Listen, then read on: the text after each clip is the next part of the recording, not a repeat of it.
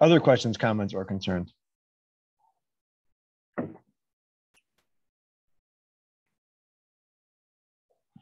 There's a mosquito in my garage. So if you see me doing strange hands gestures um, or applauding for no reason, that's that's why. Um, just a few things coming down the pipe. As I mentioned, it looked like everybody got these submitted. Remember, there's like the key thing is that you need to, and there's specific instructions in the assignment if you haven't got it in yet for how to share this information with Dr. A and myself. Um, we respectively suffer from strange relationships with Google Drive and CI Docs. And so if you do not follow the instructions for exactly which accounts to share to, then we will not receive your document. So please make sure you have a look at that.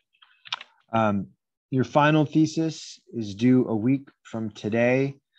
And then the final, jumping ahead, the final week um, uh, there's a couple kind of like smallish things.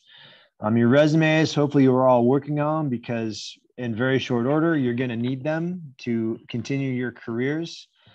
Um, so they're due on the 16th. Um, the final capstone reflection is going to be uh, a, a, survey through Canvas that will take um, not necessarily a ton of time, but some some careful thought and consideration. Um, and then the so, so you guys should carve out time for that though. You shouldn't yeah. just leave it for like five five minute kind of deal. Yeah, please don't do it at 11:55 p.m. before it's due, right? Like we'd like you to be awake, alert, sober, um, even though you're kind of getting into these final weeks. Um, and then lastly, the, the final version of your data repositories, you kind of got everything organized today um, for today. Um, and the final version just sort of takes that and doubles down and, and we'll make sure that everything looks hunky dory. Um, one thing I'm pretty sure the syllabus says this, um, but the data repository, even though it's a small chunk of points, is ultra super mandatory, and you cannot pass capstone if you've done unless you turn it in. So don't forget to turn it in. Um, any questions about these? What questions do you have? I have a question. So the preliminary preliminary data repository, the one due today and the one due the 16, what's the diff what would be the difference? Might not be might not be different. So so we're gonna look at it and but but in almost every year there's lots of adjustments you guys need to do. So theoretically it could be the same. Okay. But but we'll look at it and say, oh, you guys got to adjust this. This this is this label is unclear, like that kind of thing. Oh, okay. Yeah, so it, doesn't, it doesn't necessarily need to be a huge amount of time more, but almost everybody has to revise them. Years ago, I had them I had folks turn them in the day with their like the end of the semester with their paper, and it just almost everybody was spending hours and hours there. So we do it ahead of time now so that we can check it. And if it's good, you're good to go. And, there would, and you just resubmit that same thing. But um, most people need to modify. This, this way we don't have to try to track you down in like June. Great question. Other questions? Yeah, I actually had a question about um, citing our sources.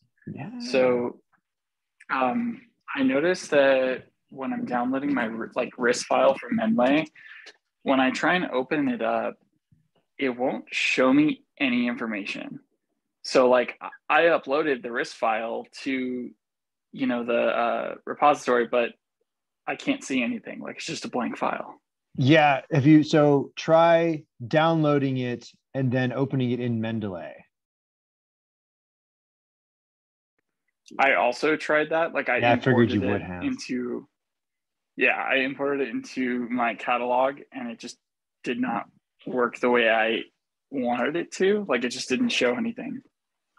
Um, that's a mystery. Um, but we can spend a little time today uh, in this week poking around to see if Mendeley offers some support and guidance for how to avoid that. I, I was also having the same issue and Dr. Anderson helped me out. I had to send him the the blank sheet to his email and he was able to open it, but I couldn't. Interesting. Yeah. Yeah, just just so just so people understand, um, there's uh, depending on which program you use, there's different um, form, there's different um, uh, proprietary formatting stuff. Just like there's like like XLSX for for Excel files, right? And then there's um, a CSV, the more generic version. That's what that uh, .ris. It stands for reference man something something. I can't remember the, the, the full acronym, but, but basically, um, so uh, so if you think there's some weirdness going on, you can always save things as that RIS. Make sure though that um, sometimes if you guys are using more web-based platforms, there are relational things. So, so if you've embedded your PDF into the into the um, uh, into the bibliographic database, which is a great thing to do. Um, sometimes there's an extra option that you need to tick, tick that says, you know, export the the you know compress those files along with it as an archive. Sometimes it's export, sometimes it's archive. Um, so you might need to to try a step or two. Um, and uh, but yeah, but you can you can always send us test test versions, and we can see if uh, Dr. Reineman can see if we can um, uh, you know open them. I had a quick uh, more question. Um, my partner and I were trying to download off of EndNote uh, the file, and it kept coming out a TXT file. It looked like the contents in there were like formatted in like I don't know how to explain like the yeah, so, so way a different file. Yeah, so to be clear, what what what all these things are doing is essentially making a text, uh, uh unless you're attaching uh, a file like an image or a PDF, essentially um, they are using tags and there's a, a, standardized tag for who the author of a paper is there's a standardized tag for you know the pages and all this and that. So essentially all we're doing is exporting uh, text files basically. Just some are a little fancier than others okay. does that make sense? Yes. Yeah okay. And, and so it, so the key thing isn't the text. The key thing is that it's formatted with all this this metadata or, or these these tagged data so that these these databases then can read it and go ah this goes in this uh, column this goes in that column this goes in that column etc okay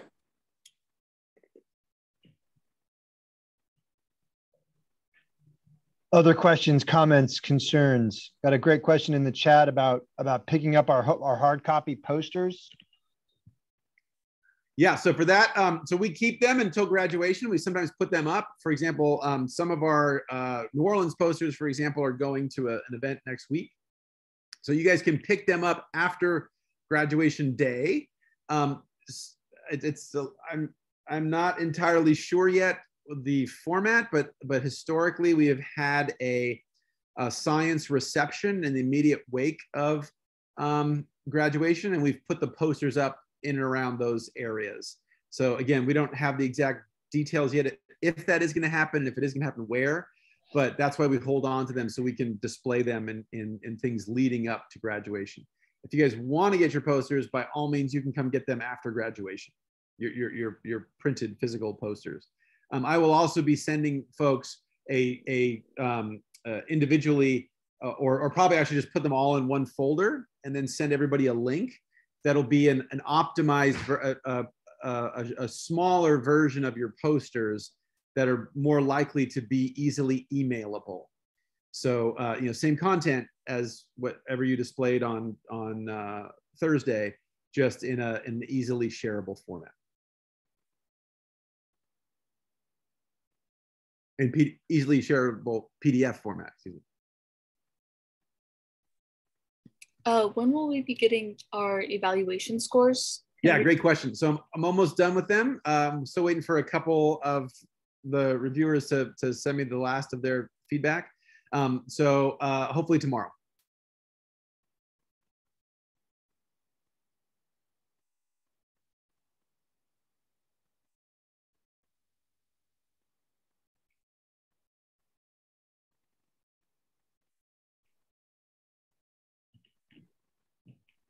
Any anybody else other? I'm just I'm just taking attendance as we're hanging out here. Anybody else have any other logistical questions they're wondering about?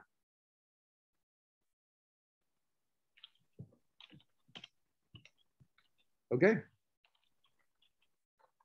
Cool beans.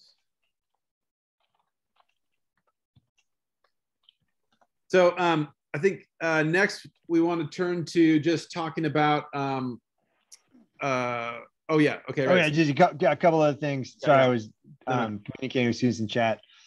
Um, just a reminder to mark your calendars for 4 p.m. on the 20th for an unofficial, unscheduled, unaffiliated, completely random. We're just going to suddenly all be together at institution, um, celebrating the end of capstone, the end of the year, our graduating seniors. Um, they have um, food and libation of various f- flavors and um, Dr. A will wear his three-cornered hat and give a great speech, and we really hope to, to to see you all there. Um, I'll probably get there early, um, so if anyone wants to come and help me um, block off like half the courtyard, that'll be awesome. Um, and then commencement proper is on Sunday morning, the 22nd. Um, for those of you that are coming, we're you're in luck because it gets real hot at graduation, especially the afternoon. So it's nice to be there in the morning. Um, but parking will be um, a shit show. So don't hesitate to come early. Totally. I'll say that again. Don't hesitate to come early. Um, and uh, we'll see you there. Yeah, and Any I think we're going to. I believe we're taking our photo. Bef- we're going to try to take an ESRM photo with students slash faculty uh, beforehand, right? Dan, is that what we talked about? Yeah, I'm not. I'm honestly, I'm not quite sure how it'll work. Cause we'll all be on the south quad, like lining up and dancing around in our funny robes. Um, and So- I'm not so like, We'll update you guys. We'll update you guys. But yeah, we'll keep you posted. It may be that we it- just like grab you all and run and stand under the bell tower and take a picture, and all the organizers will get all PO'd at us, which is typical. Well, but we'll we'll we'll have some we'll, we'll have some guidance, and while not required, we strongly encourage and invite everyone to come and all physically be together and snap a bunch of pictures. Your family can take pictures, your significant others can take pictures, whoever, and then we at least get a, a good shot of of everybody together. We can do that also on on on at that random day when we're gonna be at institution. But uh, of course, not everybody will come to that, and not, and you guys won't be. And it's your not the same when you're not wearing your funny robes. Right, right, right, right. I, Dr. I think we should do it on like the Sierra patio, second floor patio after commencement. So that We'll talk. we can We'll talk about it. We'll keep everybody after posted. seems to always be not everybody comes after, but Yeah. but okay. Um, Peter, you had a hand go up and then go down. Yes. Uh, well, I will unfortunately not be able to attend the 20th of the random meetup at institution. I don't even know what meetup you're talking about, but I'm sorry to hear it. Yeah, I know it's it's so sad, but is there possibly a chance that there might be another random meetup after or the day of graduation, the commencement? Uh, not that I'm aware of. So Um, usually everybody does family stuff on Yeah. on that. Like they go typical. to lunch, they go to have a party, so that it's pretty almost impossible to do that on the day of. How long is uh graduation, the whole ceremony? No one knows. Yeah, it'll feel like maybe 40 hours. Mm. No, but honestly, no, we don't know. Yeah. because Because read we've all the never done we've never done four separate sport four separate um Okay. ones so for many years we had all, everybody was in one Yeah. and then starting about four or five years ago we broke into two and now we're into four so so probably at least two hours two and a half hours um, but okay. it's honestly until we do it we don't know Kind of of a bummer that it's on a Sunday, but right, it's on a Sunday. i mean I, I, we- we we typically have them on saturdays we have them on sundays so that that's that's a, a fairly fairly normal thing Okay. The robes are silly any day of the week. Yeah. Well, and ours can't really go that long anyway because ours is first. It can't go too, That's too true. because there's a second one. And they've got to get ours. They've got to. They have to get ours finished so that everybody can leave campus, so that all the people coming for the next one have a place to park. Um. So it. I think it is not unreasonable to just expect um, a lot of joyful chaos. Um, we're going to shift gears. We have more. We'll have more time to chat about this stuff uh, later if there's um, more questions. Oh, Lewis, go ahead, quick, squeeze it in there. Go. Um, so I've used up all my tickets, but I have uh, really young siblings, and I was wondering if they've showed up, if anyone would make a hassle about it. Who the hell knows, dude? Probably not, but but uh, I mean, if you if you plopped them into a seat, there might be some issues. But if you people were just holding them in their laps or whatever, I, I would be surprised if someone would would lose it on them. They Yeah, told Adam, under me your that silly robe. anybody over the age of one has to have a ticket. Cause my I, I had the same question because my daughter is uh four. Over the age of one. Wow. Yeah. And you have to have um the COVID test done 48 hours prior. Okay, cool. Okay. Thanks for the info. If they're too young, like to get the vaccination, you know. Mm-hmm. Yeah, I was actually wondering if the COVID test could be an at-home one or if we actually had to go get it done. You, you're no, they told me that you could do that at home one. You just have to write the date and your name on it. Okay. Okay. Cool. yeah, all, Thank all you. that all that stuff, you guys, all that all that sort of specific as to can I get more tickets and and that kind of stuff. We just Dr. Dr. Reineman and I just simply are not involved in that logistical side of stuff. So we can provide big picture, like rough idea about time and that. But as far as like Based on prior be- experience. yeah, are you going to be allowed into this with this condition or that, or, or where is the handicap parking or stuff like that? We just that's just not uh, we're not included in those decisions. So so I, I just dropped the commencement link in the chat. Um, and so one way or another, most of the answers you're looking for will be there. Um, but good luck and keep us posted. Yeah, I think I think Suzanne had some question, or or, or the last time there was some comment about um, like if you want to put your name in for for a pool access to extra tickets, right? Did, did that go well for people, or people Yeah. tried that? Yeah. So I had um I was on the wait list for five extra tickets. Um I might have one available. I have to double check and make sure that my people are coming.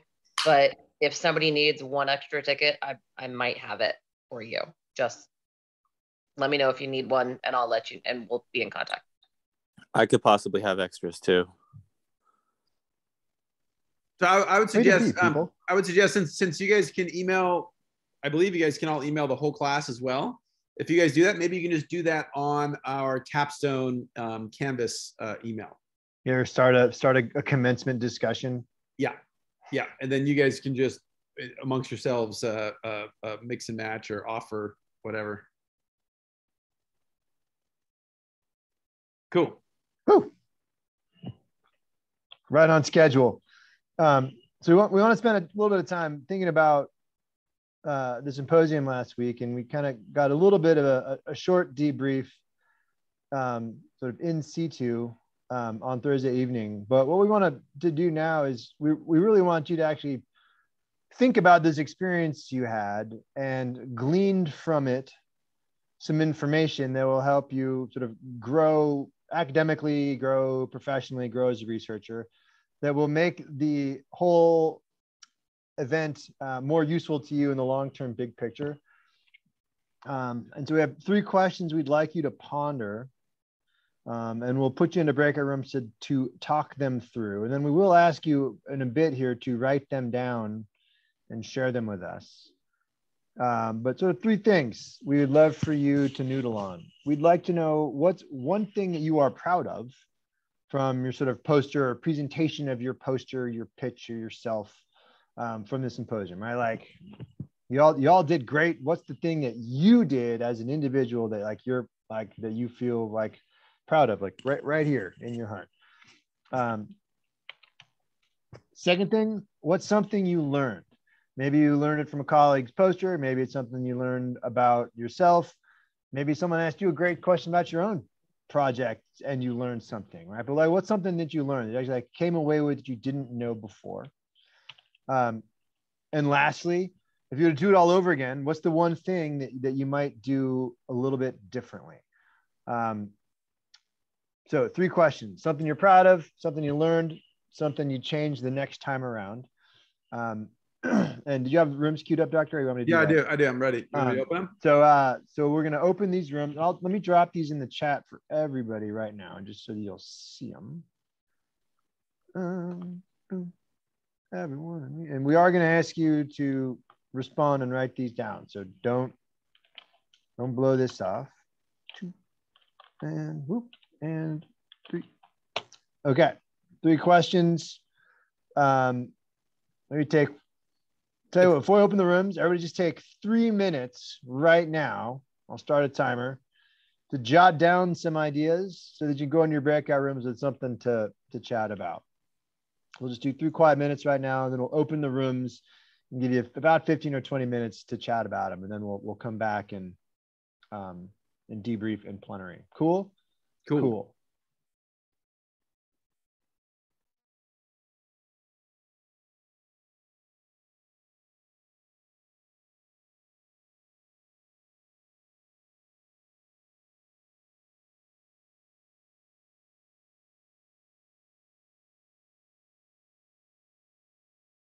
I'm gonna pause. I'm gonna stop the recording, Dan.